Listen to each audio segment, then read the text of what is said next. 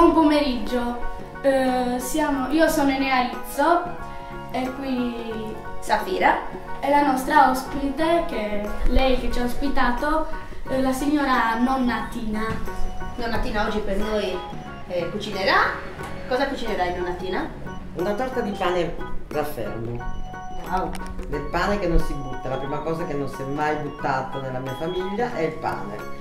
Perciò oggi prepariamo una bella torta al cioccolato di pane raffermo. Cosa abbiamo qui? Abbiamo come ingredienti il pane bagnato nel latte perché giustamente è duro, lo zucchero, noci, mandorle, eh, nocciole, quelle che si ha in casa si può aggiungere, cacao amaro e uova. E poi adesso con la modalità un goccino appena appena di eh, vanillina. Iniziamo a fare Sì. la preparazione? Sì, sì. Va bene. Ok. Pronti? Ecco, venite, così strizzate il pane e me lo mettete dentro. Mm, Sì.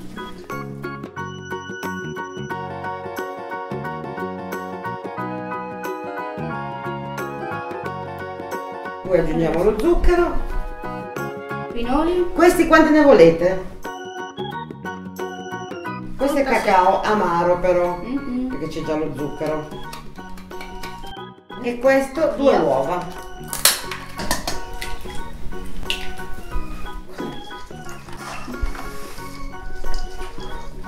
Adesso diventa tutta una cosa, è morbida, vedete? Mhm.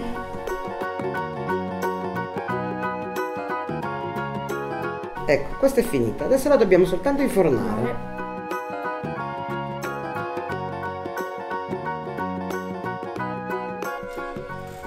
160 per 40 minuti e questa aspettiamo In che forno. vai in forno ok Infornata la torta, eh, abbiamo un'altra ricetta, sempre con, ehm, con avanzi di cibo. allora questo è il riso che ho fatto ieri sera Mhm. ed è avanzato il riso un risotto normale o bianco rosso verde qualsiasi risotto che possa avanzare noi li chiamiamo cioè questi si chiamano adesso arancini perché in Sicilia li chiamano arancini perché è una loro specialità però ai miei tempi non, non erano gli arancini. Per farceli mangiare alla mia mamma la roba avanzata che come lui si buttava ci imbrogliava dicendo che ci faceva le polpette. Solo che io ho imparato adesso a mettere formaggio, sottilette eccetera che piacciono appunto ai miei nipoti. Mentre invece ai tempi mettevano il formaggio fatto in casa tipo di capra, di, di mucca tutti quei formaggi La peretta, la provoletta. No, la peretta giù in campagna non si usava, per cui non, non veniva usata. E per cui faceva queste polpettine tranquillamente e noi li dovevamo mangiare perché altrimenti non c'era altro. Non ci vuole sale nelle uova perché il risotto è già condito. Allora, come si fanno?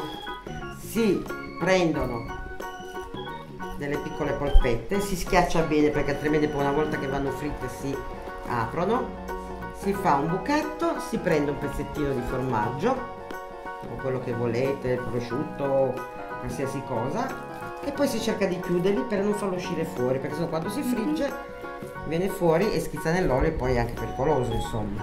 Impanati nell'uovo e nel pan grattato. Così. Ecco.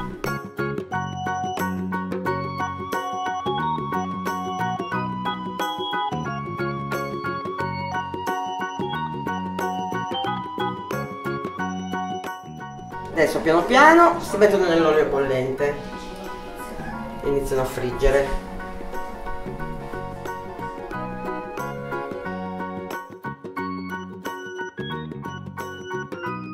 Ed eccoli qua, le polpette e la torta di pane. Come vedete non si butta niente in cucina. Contenti?